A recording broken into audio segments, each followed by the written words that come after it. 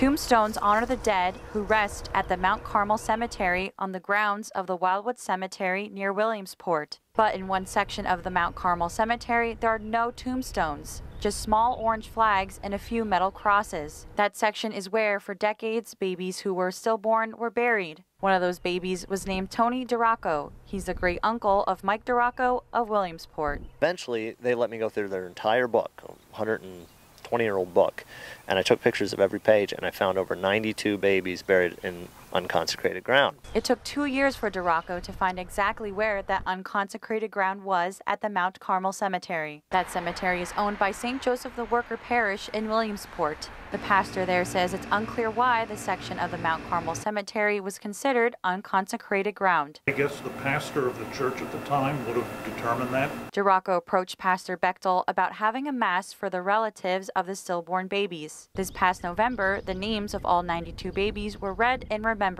And then I went up to the cemetery and we had some prayers there.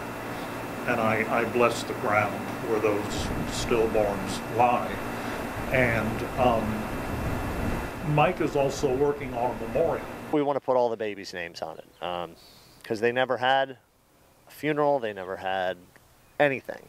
Um, so this is kind of, you know, some of these babies have been in the ground 100 years. DeRocco says the unconsecrated ground marker will be a statue of a mother holding a baby. It'll be placed where the stillborn babies are buried. Fundraising efforts for the memorial are underway. If you'd like to help, you can find a link at our website, WNEP.com. Mackenzie Ocker, Newswatch 16, Williamsport.